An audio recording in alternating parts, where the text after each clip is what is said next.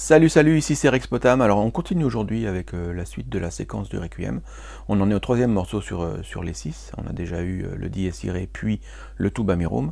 Aujourd'hui c'est le Rex Tremende, roi redoutable.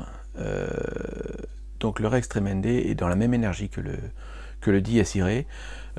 juste en guise d'introduction à ce morceau, il y a une petite partie aux instruments qui permet de, moduler depuis la tonalité du tuba mirum, qui est en sol mineur, vers le fa majeur du, thème du Dies Irae et donc du Rex Tremende.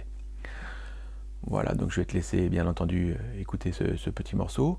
Euh, juste en commentaire, si tu veux, tu peux me dire comment tu ressens ce, Rex Tremende. Euh, est-ce que l'introduction te semble nécessaire ou utile? Et puis, ben, n'hésite pas à me dire tout ça en commentaire, ce sont des questions qui m'intéressent et j'y répondrai.